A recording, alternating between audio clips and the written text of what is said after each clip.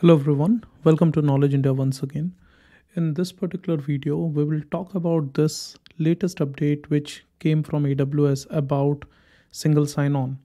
So uh, as you can see on the screen, AWS now started supporting customer managed policies with AWS SSO permission sets, right?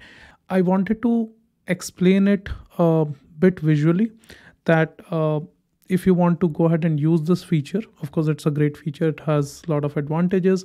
But if you want to go ahead and use it what are those few things which you should keep in mind and how should you go ahead and design this in your organization? Okay so we will talk about that.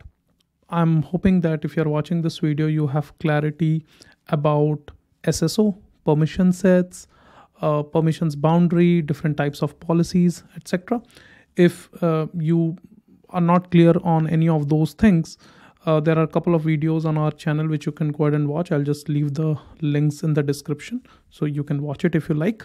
Uh, but it's very important that you have a clear understanding of those concepts. And if you have never actually have done the setup of sso you know in your account then i would highly recommend that go ahead and do it. Uh, that will give you a lot of clarity okay so let's try and understand what this update says. This update says that the new capability helps aws sso customers to improve their security posture by creating larger and finer grained policies for least privilege access. Point is earlier if you remember when we used to create permission sets there were only two things which were possible. It was possible to use only the aws managed policies or the policies which we used to write like we used to type it. I've shown it in my sso video as well right? So only those two things are possible. Now additionally in addition to that it is also possible to go ahead and specify the name of a customer managed policy right? So basically a policy which you have written in within your IAM dashboard right? That policy can be specified while creating the permission set right? Now um, there are few advantages of that right? Of course uh, because it is possible that let's say you want to write a particular policy and you want to use those statements across two or three different permission sets. So earlier it was not possible. I mean we had to like kind of type that thing again and again in in all the three permission sets. But now it is possible. You write it as a customer managed policy and then just use that customer managed policy name in all the three permission sets right? So that is one good thing. And let's say later on if you go ahead and uh, modify that particular cmp then automatically that effect comes in all the three permission sets. So that reusability part is there of course. But there is one very important thing to understand that where would these or, or where would this customer managed policy exist it may be confusing a bit if you are doing it for the first time but this customer managed policy should be there in the member account not in the master account okay? Right? So uh, yeah and that is something which i want to explain it to you with a kind of diagram so that you understand it clearly okay? So before we go there just one additional thing which is kind of advantageous after this update is that earlier when customer managed policy was not supported what used to happen was whatever custom we wanted to write we had to type it as part of permission set. And because that goes as an inline policy as part of the role there was this limitation of 10000 characters right? So you cannot write it like really really big. No that one that was not possible. Now uh, with this inclusion of customer managed policy what we could do is we can go ahead and add up to 10 cmp and of course one permission boundary right?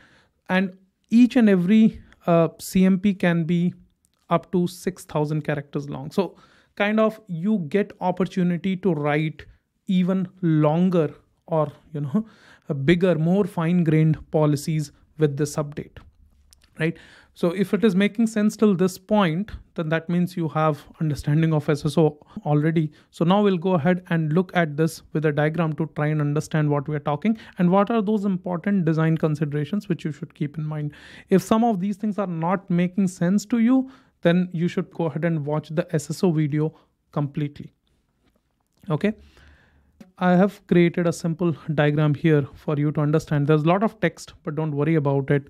Uh, you know, I should be able to explain it to you in a really easy manner. On the left hand side, you can see we have our master or management account, right?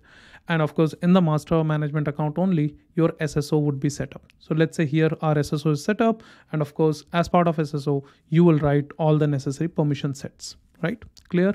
Now, what happens is when you actually provision this permission set in a particular member account, what happens internally, right? So first of all, what you will do as part of SSO is you will select, let's say, a particular AWS account, right? It like it would be a member account. So you'll select an AWS account, then you will select a permission set, and you will select a user or group, right? These three things you select and you press provision or submit, whatever, right? So what happens because of that is whatever you have, you know, whatever you have written as part of permission set, whatever policies you had written as part of the permission set, those policies are used and an IAM role gets provisioned in the member account, right? That's what happens. And whatever whatever user you had selected here, that particular user would be trusted to assume this IAM role which gets created in the member account right? This is what happens. Now, let's try and understand what all permission set consists of.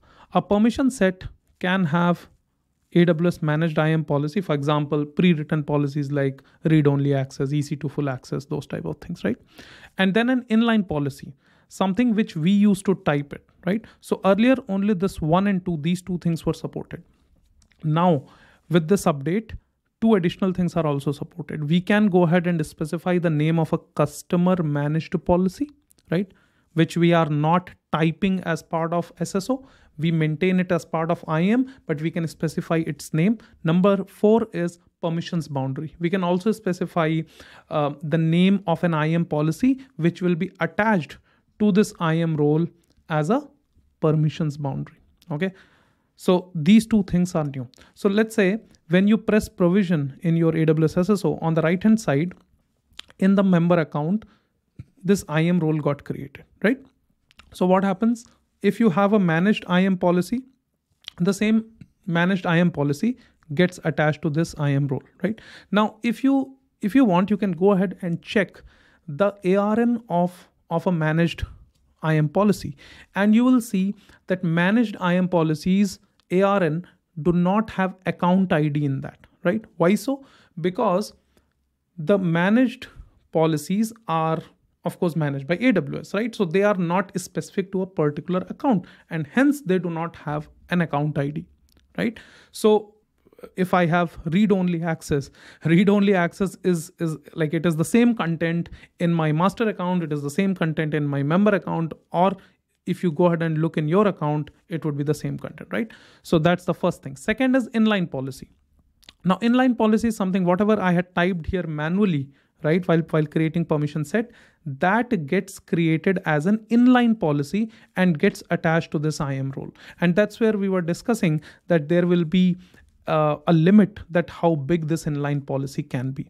So this is what used to happen earlier, right? Whatever content was there, that content used to get uh, that content used to get copied from the master account, right? We used to write it as part of permission set, and that content used to get copied. And here on the right hand side you are seeing an inline policy used to get created if later on uh, you know let's say i want to change something as part of a particular permission set when I will go ahead and change it in the master account and then I'll have to press reprovision to make sure that this inline policy in the member account gets updated. I have shown this in the uh, in my SSO detailed video as well, right? But two new things, which is customer managed policy, right? So whatever name you have specified here, that particular name, SSO will try to search that name in the member account. For example, while creating the permission set, I specify a policy name called, let's say, Knowledge India EC2 Access, right? That's the name of the policy. So that Knowledge India EC2 Access, that policy should exist where? It should not exist in the master account. It should exist in the member account, okay it should exist in the member account as an IAM policy. That's important. In the same way, whatever you specify as permissions boundary, that policy should also exist in the member account. These two things are very important. So, what does that mean really? It means that if you want to make use of customer managed policy or permissions boundary as part of your permission set, then you need to have this planning beforehand that how do I go ahead and provision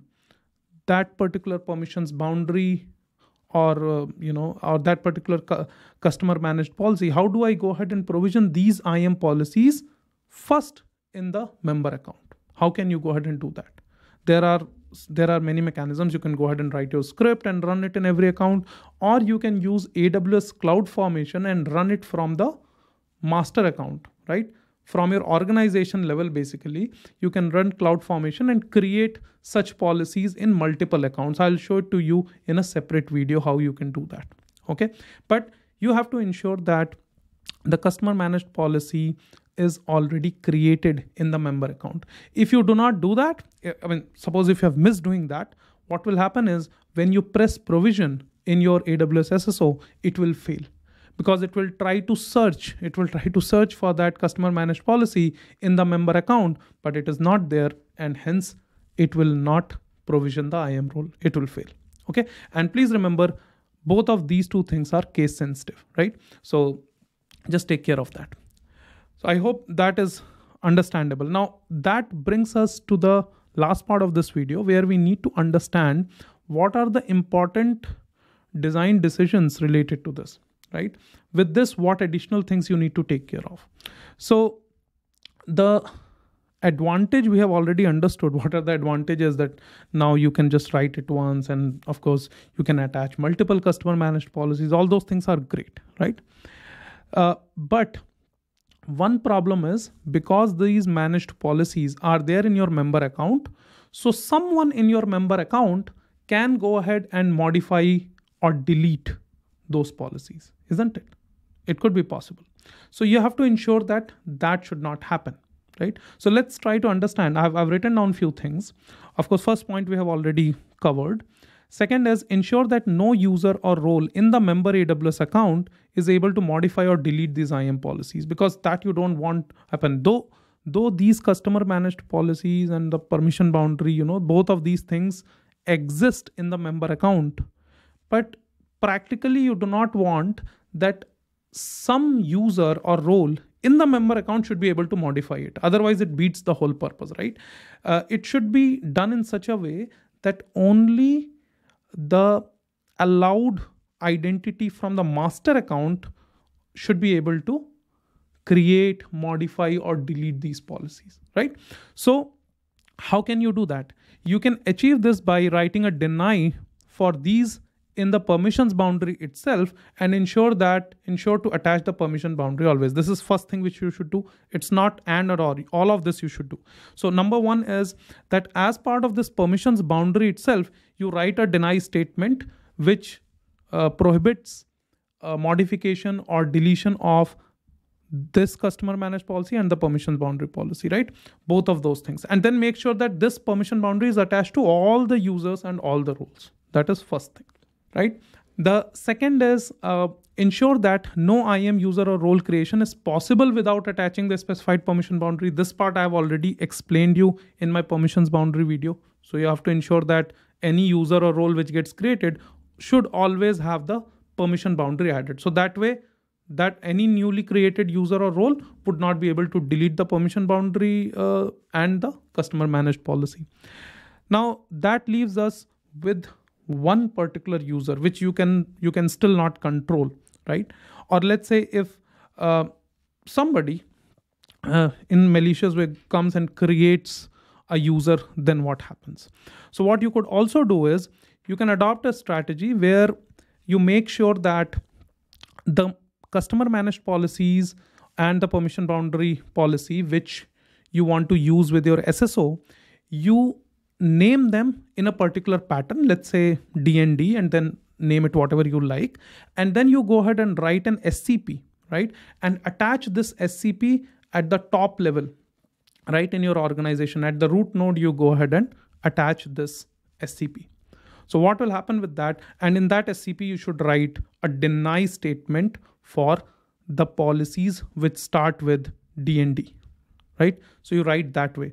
And this will ensure that, you know, no one, even the root user, right? Even the root user in a in a member account won't be able to go ahead and let's say modify uh, those customer managed policies and the permissions boundary so that way you ensure that no leakage happens nobody is able to do those actions which you don't want them to do uh, this is quite important if you are designing you know your IAM permissions um, and roles etc for a big organization where uh, multiple uh, multiple uh, groups come together and work. There will be a lot of teams. You'll have vendors coming and working for you.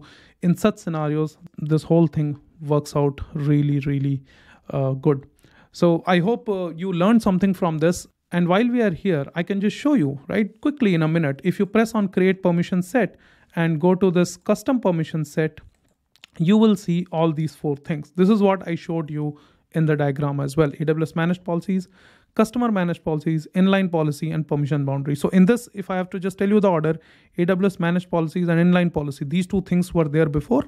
Customer managed policies and permission boundary, these two things are newly added. Just read an important thing here. Customer managed policies are standalone policies that you create and manage in your AWS accounts to define custom permissions.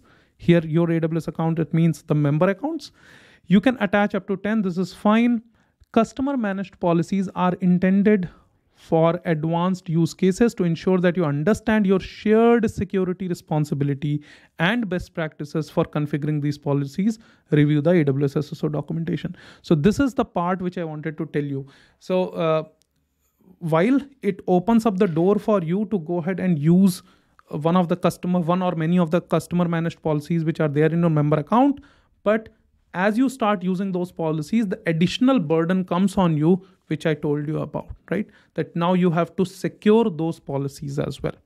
I hope you learned something from this video. This was a bit advanced, but I thought uh, let me explain this because uh, many of you uh, might be implementing SSO in your organization. And with this, go ahead and make it even better. So if you liked it, um, leave a comment and uh, maybe share it with someone we will see you in the next uh, video with uh, another new topic. Take care. Bye bye.